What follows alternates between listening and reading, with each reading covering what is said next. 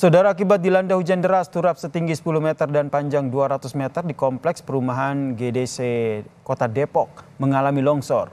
Jika tidak segera diperbaiki, dikhawatirkan longsor susulan akan mengikis jalan. Kondisi turap perumahan di kompleks perumahan mewah GDC Kota Depok ini saudara terjadi di wilayah ini usai diguyur hujan deras. Akibat longsor ini, saudara, akses jalan dan juga rumah warga yang berdekatan dengan lokasi terancam longsor. Para warga sekitar pun berharap pengembang memperbaiki turap perumahan agar longsor susulan tidak terjadi.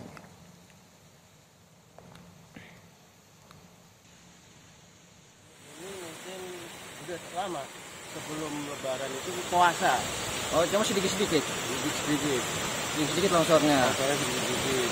Banyak juga itu kebetulan musim hujan lama kelamaan dia akan baterainya mungkin nanti merugikan semuanya. Mungkin seperti kita rumah ini kan akan bikin rumah nggak nggak nggak nggak Takut makin manjang ya Pak ya? makin memanjang